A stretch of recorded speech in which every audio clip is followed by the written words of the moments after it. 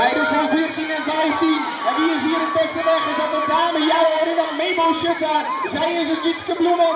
Zij gaat er aan de leiding en gaat een clubgenootje meenemen. Floor Gozes. Gozes op positie nummer 2. En zij wisten met z'n tweeën eigenlijk bijna alles al te winnen vandaag. Alleen Michelle Lacoste zit er nog een keertje tussen. En die zit dan nu op positie nummer 5. Maar wie zit er op 3? We gaan kijken naar Anja Jacobs. Zij zit er op een positie nummer 3. Net voor Nadine van de Scheur. Maar de kampioen gaat uit Noordbergen komen hoor. We gaan kijken naar de Heidenclub. We kijken naar